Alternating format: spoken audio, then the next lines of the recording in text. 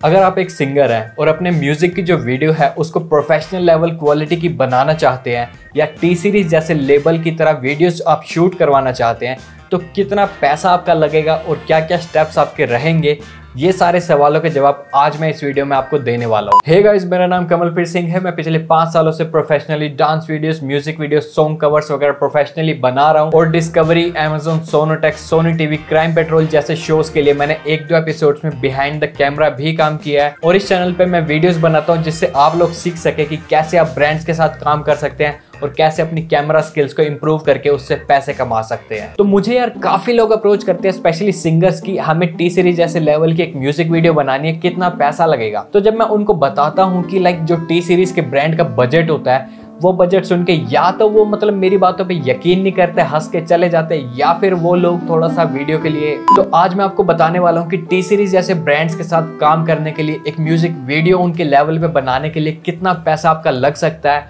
और T Series के ऊपर कैसे हम सॉन्ग पब्लिश करवा सकते हैं या कैसे हम उनकी वीडियो में मॉडलिंग कर सकते हैं। इसके ऊपर मैंने एक अलग वीडियो ऑलरेडी बना रखी है, आप जाके वो देख सकते हैं।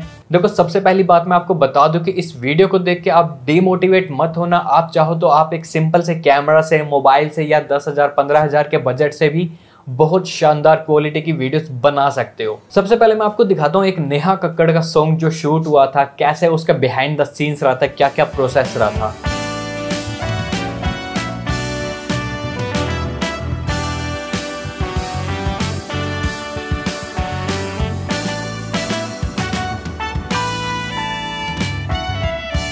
तो इस वीडियो में आपने देखा कि कितने सारे लोग लगते हैं एक सॉन्ग शूट करने में बिहाइंड द कैमरा वो भी।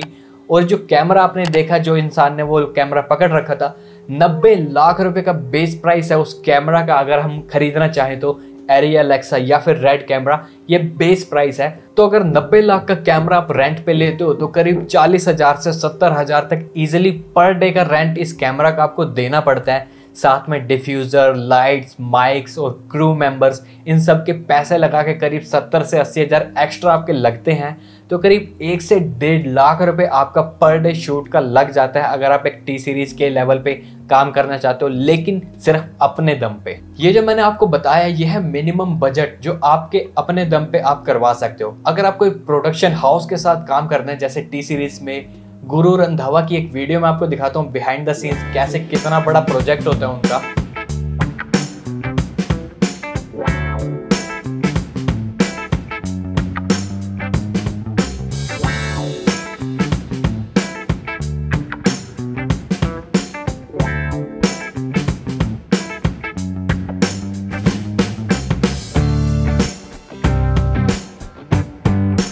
गुरु रंधावा जैसी वीडियोस आपको अगर बनानी है तो एटलीस्ट 30 से 40 लाख रुपए आपके सिर्फ़ शूट पे लग सकते हैं बहुत इजीली इसके अलावा लोकेशन कॉस्ट्यूम मेकअप और बाकी जितनी भी चीज़ें रजिस्ट्रेशन फ़ीस लाइसेंस रजिस्ट्रेशन और जितने भी प्रोसेसिंग फ़ीस आपकी रहेगी, वो सारी अलग। ये एक बेसिक आइडिया है कि टी सीरीज़ जैसे ब्रांड के साथ अगर आपको शूट करना है तो कितना पैसा आपका लग सकता है।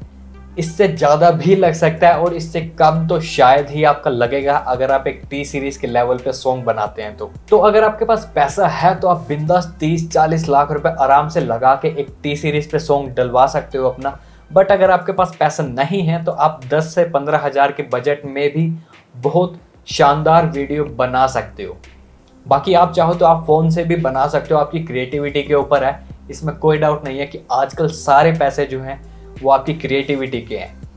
आपके पास जो 40 लाख का बजट है, वो बजट आपको सिर्फ़ दिखाने के लिए है, लेकिन अगर आपका सॉन्ग ही अच्छा नहीं होगा तो दुनिया का कोई भी लेवल आपके सॉन्ग को बचा नहीं पाएगा। हर सॉन्ग की शूटिंग की जो रिक्वायरमेंट होती है, वो काफ़ी अलग अलग होती है। आपको कोई भी डायरेक्ट पैसों की बात नहीं करता कि कितने पैसे लगेंगे, कितने नहीं। मैंने आपको एक प्रॉपर आइडिया दे दिया कि कितने पैसे आपके लग सकते हैं। अगर कुछ मतलब हेल्पफुल आपको ये लगेगा ज़रूर इन फ्यूचर अगर आप किसी लेबल के साथ कॉन्टैक्ट करना चाहते हैं तो आपका सस्ते में भी काम हो सकता है, बीस पच्चीस हज़ार में किसी लेबल के साथ। और अगर आप इतने बड़े लेवल पे आप मूवीज़ टाइप की वीडियोस बनाना चाहते हो अपने सॉन्ग की तो इतना पैसा आपका एटलीस्ट लगेगा। एज ए वीडियोग्राफर मैंने काफ़ी सारे ब्रांड्स के साथ काम किया है तो अपने एक्सपीरियंस के साथ मैं आपको ये बताना चाहूँगा कि अगर आप न्यू कमर हैं तो मैं आपको रेकमेंड करूँगा कि आप किसी लेबल के चक्कर में मत पड़िए। क्योंकि लेबल के साथ फंस कर आप बहुत जल्दी बहुत पैसे नुकसान कर सकते हो